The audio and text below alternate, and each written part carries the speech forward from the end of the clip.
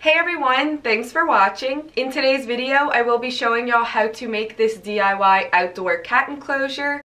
So my cat is an indoor cat, but he loves to go outside, but he's really scared. Like he's super sketchy when we let him outside. We also have an outdoor cat and they don't really get along. So we wanted to have a way that he can still go outside, but it's his space and there's a separation between him and the outdoor cat. So we decided to make an outdoor cat enclosure and he absolutely loves it. It was right under $80 to make the entire enclosure enclosure, so that is really inexpensive considering how large this space is. Also, I did choose a winner for the giveaway for last week's video. I did a random number and I just counted down the comments and this is the winner, so congratulations. I will be messaging you to get all of your information to send out your sunglass holder. And with all that being said, definitely stay tuned to the end to see Armani's reaction. It is pretty funny to see how he reacts to the enclosure. First, I'm going to measure the area. I ended up doing it 83 inches high, 82 inches long, and 30 inches wide. I'm first starting off with nine 2 by 2 by 8 foot strips and I'm cutting them into three 78 inch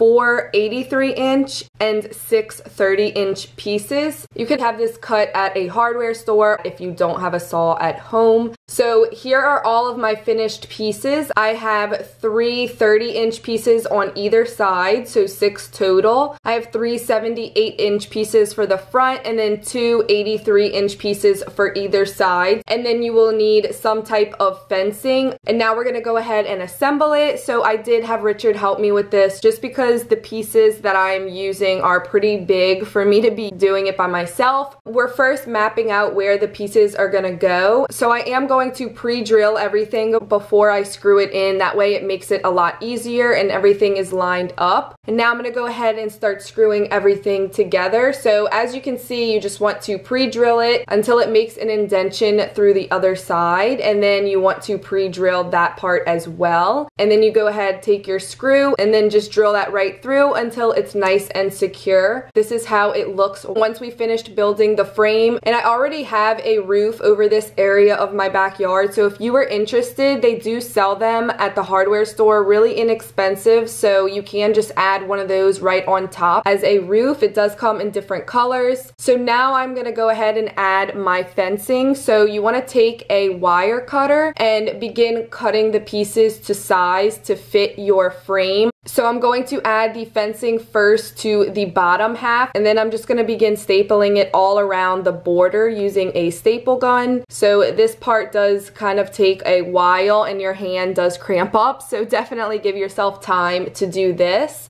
And I did use a hammer to secure each staple to be sure it was in there as good as possible. And I just went ahead and wrapped the fencing around the entire front and stapled it on all the sides of the wood. And then for the top, I cut it in three small sections because it's kind of hard to hold up the entire thing of wire. So like I said, I just cut them to size. As you can see, this is the first side, so I'm stapling it all around all four edges. And then using the hammer to secure each staple and then I'm going to do the front part and then the other side until the entire thing is enclosed with the fence. I'm standing over here by this wasp. No, I'm not standing by the wasp. You're tripping. Hey, do it for the DIY. Alright. Ah!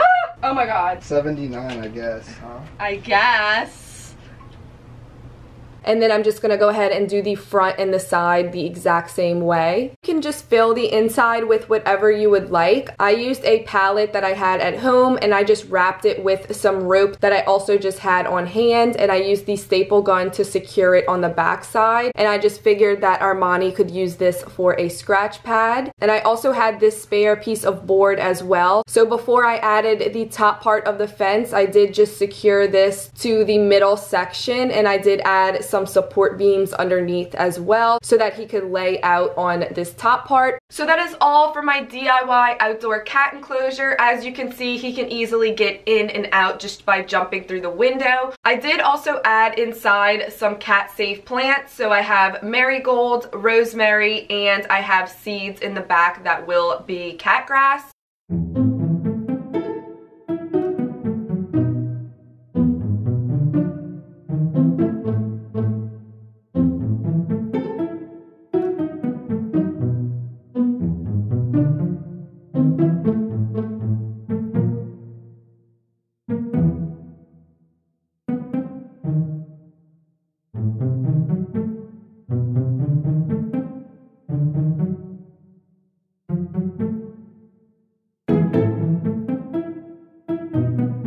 So I hope you guys enjoyed this video. If you did, please give it a thumbs up. Subscribe if you're not already, and I'll see y'all in my next video.